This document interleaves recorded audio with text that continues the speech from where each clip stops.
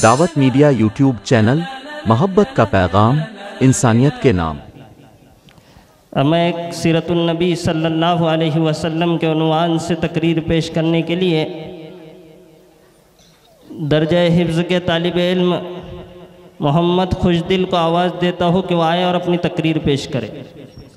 असलकम वरहमतुल्लाहि वबरकातुहू नहमदहू वनसल्ली अला रसूलिहिल करीम अम्मा बाद सदर मोहतरम उलमाए और हाजरीन जलसा मैं अपने मुकर्रा उनवान महसन इंसानियत सल्लल्लाहु अलैहि वसल्लम की खुद अर्ज़ करने की हिम्मत कर रहा हूँ उम्मीद है कि बगौर समात फरमाएँगे अभी मैं तिफल मकतब हूँ आइजूना फ़रजाना।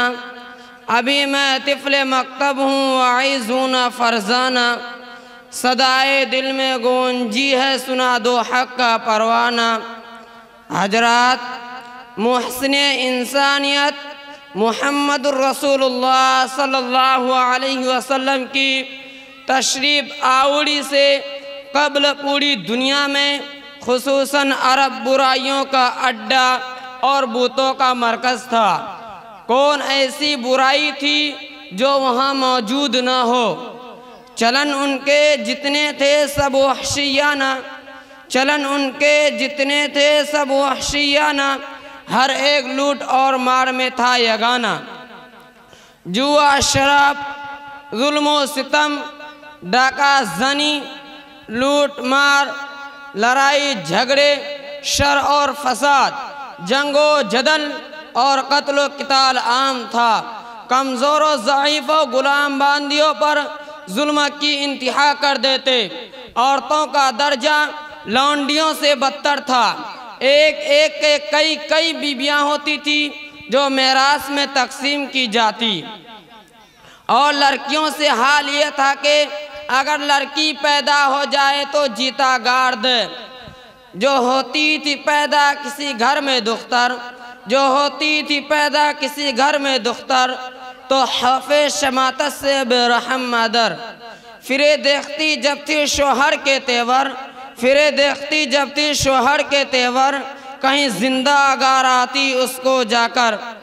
हजरात, जाहिलियत की बेहतरीन मंजर कशी करते हुए हज़रत ज़ाफ़र रज़ी अल्लाह ने नजाशी के दरबार में फरमाया, ए बादशाह, हम जाहिल थे, नादान थे और बुत परस्ती हमारा शेवा था।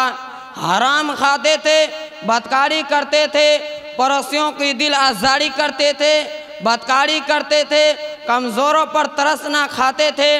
हम में से ताकतवर कमज़ोरों पर जुल्म करता था। हम बेकसों पर रहम न करते थे। हम से हम इसी हाल में थे, जब जुल्म सितम हद से गुजरे, मोहम्मद तशरीफ़ ले आए। हज़रत महसिन इंसानियत, हजूर अकदस सल्लल्लाहु सरापा रहम व करम, हमदर्दी और गम गुसारी का पेकर बन के तशरीफ़ लाए। हर तबके के साथ हजूर अकदस सल्लल्लाहु अलैहि वसल्लम का सलूक इज़ारो इकराम और शफकत होता था। मगर ख़ास तौर पर महरूम व कमज़ोर, गरीबों, नादार, बीमारों, बूढ़े, यतीमों, बेवा, मजदूरों, गुलाम वगैरह, यहाँ तक के हैवानात के साथ आप सल्लल्लाहु अलैहि वसल्लम का रवैया इंतहाई व नवाजिशात का होता था। हाजतमंदों के साथ आप सल्लल्लाहु अलैहि वसल्लम जो दो सखावत का मामला फरमाते थे उनकी सरपरस्ती, उनकी तालीम तरबियत का बहुत ज़्यादा ख्याल फरमाते।